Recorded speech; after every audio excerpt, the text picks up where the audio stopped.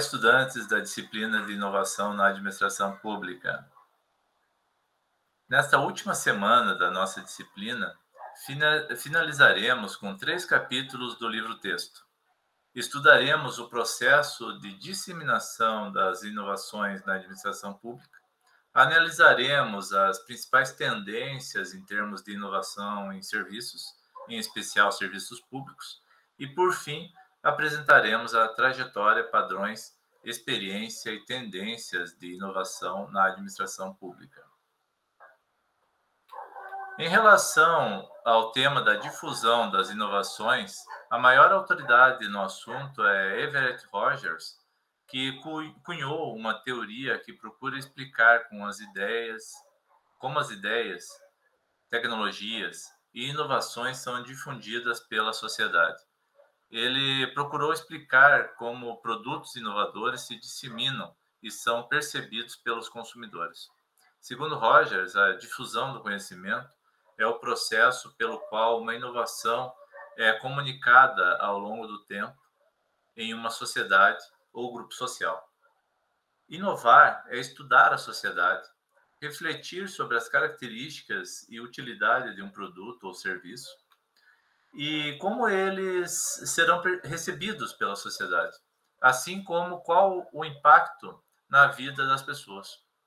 A tendência hoje é inovar porém sem os devidos cuidados e orientados por estudos científicos, pode acarretar prejuízos para a organização, enquanto o uso de modelos pode permitir a satisfação da sociedade com estratégias diferenciadas.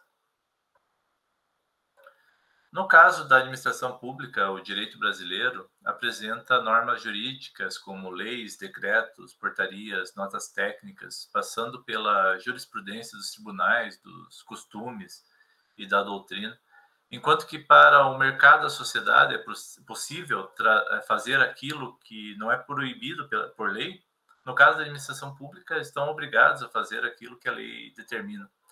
Temos a Lei é, 13.243 de 2016, que instituiu o novo marco legal para ciência, tecnologia e inovação no Brasil. A Lei da Inovação, a, a, a Lei 11.196, a Lei do Bem, que concede incentivos fiscais às pessoas jurídicas para que realizem pesquisa e desenvolvimento de inovação tecnológica. As políticas públicas que se, se estendem se entende né, por leis, programas, planos, projetos e atividades propostas pela administração pública que têm por objetivo efetivar direitos e promover o desenvolvimento sustentável no país. Uma das políticas públicas mais importantes do Brasil para a inovação é o Plano Nacional de Pós-Graduação, a Estratégia Nacional de Ciência, Tecnologia e Inovação, de 2016 a 2022, além de diversos planos de ação em ciência, tecnologia e inovação. Quanto à pós-graduação brasileira, já sabemos que a educação é o principal canal de difusão das inovações. Nesse sentido, a educação superior e a técnica, e em especial a pós-graduação brasileira, através dos mestrados e doutorados, têm um papel fundamental constituindo-se como o principal agente de inovação no setor público brasileiro. A grande maioria dos laboratórios se encontram nas universidades brasileiras, e mesmo parques tecnológicos, condomínios digitais, clusters de empresas precisam das universidades para desempenhar suas funções e ter os pesquisadores necessários à disseminação da inovação. Agências de fomento como CAP, CNPq, FINEP bem como as fundações de amparo à pesquisa estaduais, têm como missão disseminar a ciência, tecnologia e inovação no sistema, financiando tanto bolsas para pesquisadores como projetos de pesquisa. Os editais e chamadas públicas para pesquisa e inovação são instrumentos de difusão da inovação em nossa sociedade, além de ser mecanismos de transferência de renda para um setor que precisa ser estimulado. Quando o Estado paga bolsas, financia pesquisa, apoia ações junto a setores estratégicos, ora com setores vulneráveis, é uma das formas principais de disseminação de, da inovação. O financiamento das pesquisas que serão divulgadas através de artigos científicos, livros, apresentações de trabalho, seminários, congressos científicos, vídeos e documentários, oficinas, extensão tecnológica realizados com a comunidade, isto é, todas as formas de divulgação científica, são também importantes formas de disseminação da inovação na administração pública. É necessária uma abordagem deliberada e sistêmica para a inovação no setor público. No setor público. Isso envolve clareza, para garantir que exista um sinal claro para os servidores públicos e para as partes interessadas sobre inovação, o que é, por que é importante e como se encaixa em outras é, prioridades. A paridade, ao atribuir à inovação um peso semelhante na tomada de decisões para combater o viés em direção às formas de ação estabelecidas.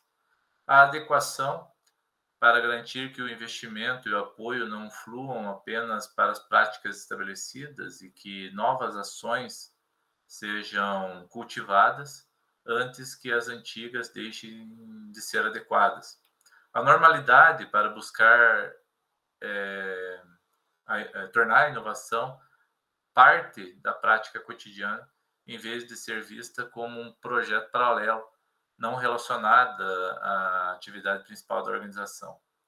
Uma carteira mista para garantir uma combinação de atividades baseada em inovação para atender a uma variedade de possíveis necessidades e circunstâncias. E a gestão, que ao adotar uma visão integrada do sistema para garantir que diferente, diversas atividades de inovação apoiem um setor público coerente e não a sua fragmentação. Dentre os serviços públicos voltados para a inovação, cabe um destaque especial para o Embrapa, para a Embrapa, né? Com, a, a, com relevantes serviços públicos é, prestados ao agronegócio brasileiro e ao desenvolvimento nacional. A Embrapa é uma empresa de inovação tecnológica focada na geração de conhecimento e tecnologia para a agropecuária brasileira. Inspirado nesse modelo da Embrapa, também temos o, uma criação aí pelo governo brasileiro da empresa brasileira de pesquisa e inovação industrial, denominada Embrapi, para a produção de conhecimento e inovação no Brasil. A Rede Nacional de Recursos Genéticos Vegetais é, protagoniza um trabalho muito importante para o agronegócio brasileiro, protegendo conhecimentos tradicionais e preservando a matriz agropecuária brasileira da biopirataria. De acordo com Cavalcante, Cunha e Severo, o padrão brasileiro se revela pela centralidade do Estado, do papel do Estado no processo de inovação. Apesar de as correntes teóricas afirmarem que a inovação acontece no setor privado, o Estado vem tendo um papel central desde o financiamento da infraestrutura até a participação em empresas de base tecnológica. Quanto às tendências, a primeira tendência é a necessidade de investimento do setor público tanto para a articulação do ecossistema como para a modernização de suas estruturas. A economia criativa também vem, vem tendo um papel significativo em todo o mundo. Estão sendo criados polos e distritos criativos, buscando gerar negócios a partir da criatividade local. A bioeconomia também é uma estratégia. Segundo a Embrapa, é fundamental e estratégico a conservação e exploração dos recursos genéticos originários do Brasil, principalmente aqueles que podem ser utilizados na dieta alimentar da população, tanto no mercado nacional como no mercado global. Temos o governo digital, em que ganham destaques a adoção de tendências de gestão, tais como atuações nas redes e no governo digital, o IGOV, como estratégias de inovação no governo. Smart Cities, Indústria 4.0, Indústria 5.0, são temas de grande destaque e importância contemporânea. Agradeço pela atenção. Fico à disposição no fórum da disciplina e por mensagens para conversarmos a respeito do conteúdo. Um grande abraço e até uma próxima oportunidade.